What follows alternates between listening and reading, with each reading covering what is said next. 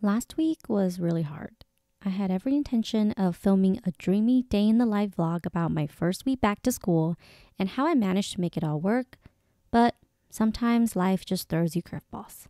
In the middle of setting up my camera equipment, my tripod toppled over and my camera landed on its side. So now it's stiff. It only goes from pretty much from like 17 to 18 millimeters now. I can't do any more than that. This is no longer straight. It kind of, if you can see, it comes out crooked. So lens is crooked now. Oh, you can kind of see it more. Took me a while to pull myself together and I managed to finish my yoga session. It did clear my head a little bit, but I was still freaking out inside. After that, I went online, found a used lens for a pretty affordable price, Googled the website's legitness, and then I pulled the trigger.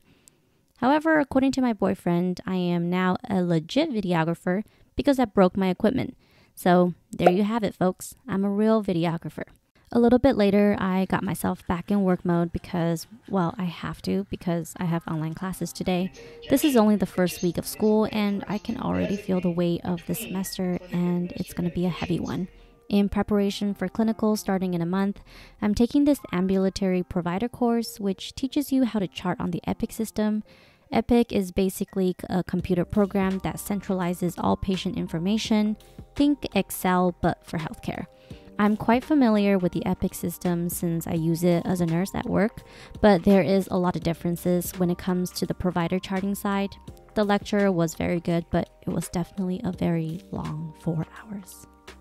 Next day, I have class again, but this course is advanced practice, which is probably the most important class in my grad school because this is where I'm learning how to diagnose diseases and patient conditions, writing SOAP notes, and just mastering those common problems that bring patients into the clinic or urgent care setting. Basically, the meat and potatoes of my entire program. I love my professor this semester. She's so smart and lectures so well. I feel like that's such a rare find, and I'm so lucky to learn from her. Her lectures always gets me so motivated. So after class, I rushed over to Target for a quick stop and got myself some flashcards. Learning diseases is definitely just repetition and pattern recognition, so now I'm gonna quiz myself every day.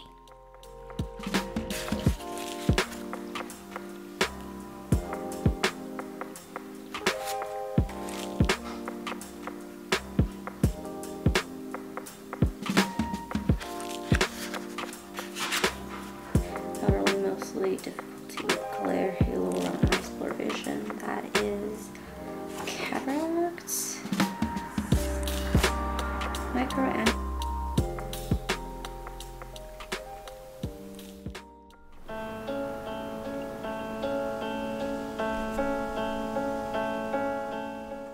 Next morning, I still got up super early, even though I have no classes today. I've been really enjoying these early mornings where I feel I have more time for myself. I start the morning off with some hot lemon water and I'll just do some simple things like tidying up my kitchen or work on my scripts for my videos. It's never too complicated, but I just love having this extra time to myself. It almost feels like I cheated time and got a head start ahead of everyone, and that just feels very nice.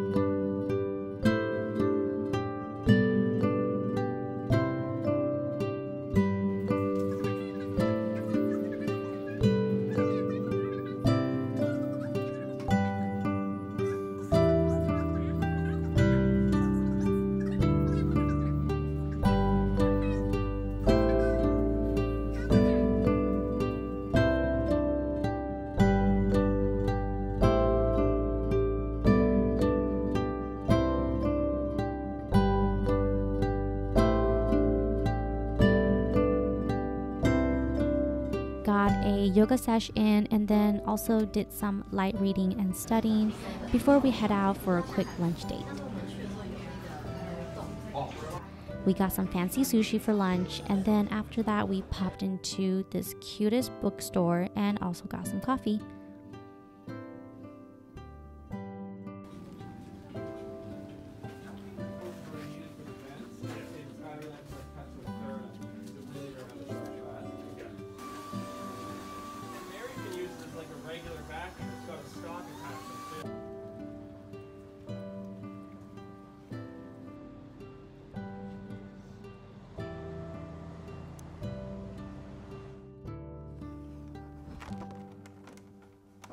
Even though this semester is gonna be super busy, I actually feel really good about it and I'm super excited for everything I'm gonna learn.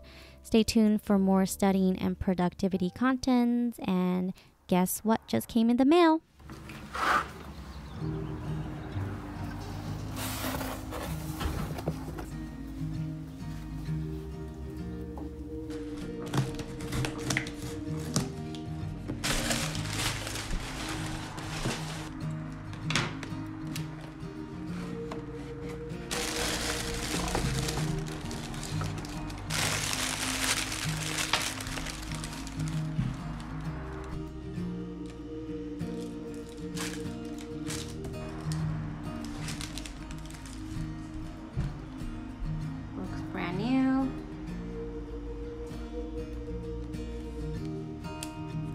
Zoom lens.